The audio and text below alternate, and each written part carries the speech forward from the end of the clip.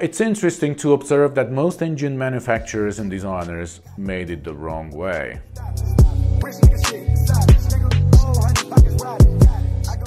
Welcome back to our Paramotor Geometry classroom. We cover all aspects of paramotor design and geometry and now we are talking about engines and different options how to build a paramotor engine. Thank you for staying with us. Here behind me is the Vittorazi Moster Plus is the engine that I personally fly, but it's actually a pretty typical concept of the engine.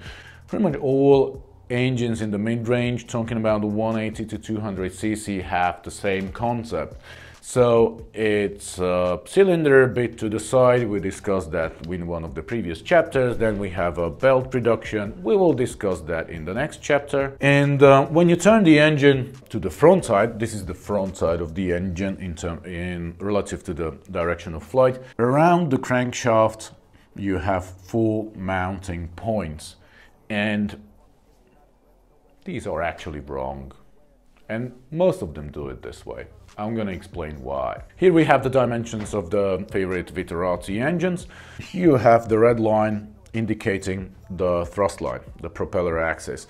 And you see all full mounting points, all uh, these rubber mounts are actually below the thrust line, so or the thrust line is outside of these four. Now looking from a side, what does it do? Now imagine you apply 75 to 78 kilograms of thrust. That's a lot of power. There's way more than the weight of the engine itself. That's actually the most important and crucial force that you need to take into consideration. And it seems like they didn't because if you apply 75 to 78 kilos here, this will be compressed and this is actually stretched and the whole motor under the thrust kind of leans forward. It changes the position within the cage. And that's my problem to solve as we design uh, paramotors. When we assemble the Scout paramotor, we actually have the prop kind of sticking out a little bit more at the top than at the bottom.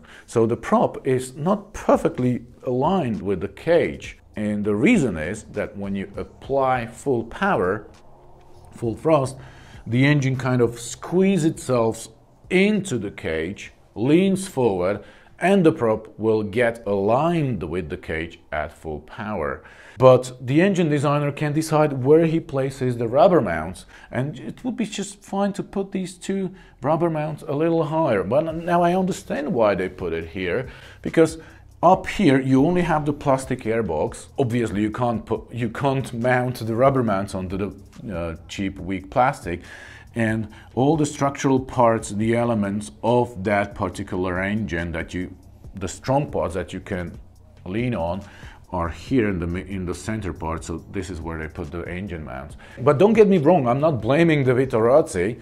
All engine manufacturers in this category with this setup with the belt reduction and about the 180 200 cc engine they have the same system they have the same setup whether it's minari simonini corsair or i don't know whatever brand you take it's not a big deal we just install the engine a little bit tilt it backwards it just generates a lot of questions so here's the answer uh, how about small engines they made it better it's probably just a coincidence. Here is the Vittorazi Atom 80, but again, they are not alone in this category. Also, the Top 80 or the or, or, other engines, they, they pretty much use the same concept. So basically, here you have a shaft, and they build the engine mounts around the shaft symmetrically. And it's just a coincidence that the propeller axis happened to to be in between the engine mount. So if you apply thrust here,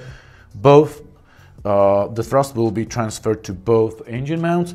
This one obviously a little bit more, so this will be squeezed, uh, compressed a little bit more, but this one gets a little bit of that pressure force as well, although less, so it will be compressed or less. So the engine is not, not moving, not tilting forward.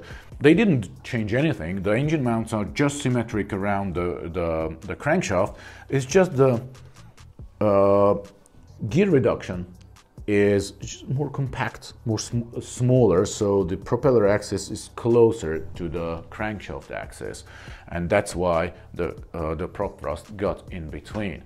But there is one engine manufacturer that did it very well, and that's the Polini. Let's have a look at that. So here we have the Polini, it's the 130, but actually the 190 and the 200 and the 250, they have the same design. So basically looking at the engine from the front, thrust line is, some, is here, but they just they just didn't do the shortcut. They didn't build the engine mount symmetric around the crankshaft axis. They placed the two points here and the top points that are crucial, they point, they place them up here. So when you when you look at it from the side, you see the thrust line is pretty much straight in between the rubber mounts. So, so all rubber mounts are kind of loaded equally, and the engine is uh, most most stable in between. Yeah, respect to that, it's a good solution. The reason why others don't do it is because others rely on propeller cooling they need to rotate the motor a little bit further from the uh, propeller axis. So they just don't have anything in here to attach the uh, rubber mounts to. While Polini uses forced cooling, they, they can keep the engine closer here and suddenly they have a rigid structure to put the engine mounts to. So it's not really something to blame, it's just something to know about and accept the disadvantages. I mean, this topic doesn't really help you to choose which engine is better or not. And it will probably help to reduce the questions why at the Scout we installed the propeller in the wrong way. No, it's in the right way, it's tilted backwards and it gets back into shape when you apply full power. The next topic will be gear versus belt reduction. We touched this topic a few times in the previous chapter when we discussed cooling, in this chapter when we discussed engine mounts. Now let's explain why some engine manufacturers choose belt and others choose gear. Stay with us, hit the subscribe button if you haven't done so yet, and see you soon.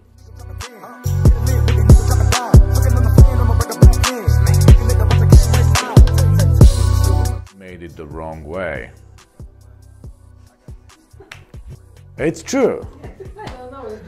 Because I constantly get these asked questions, uh, like it looks weird, so someone who doesn't understand.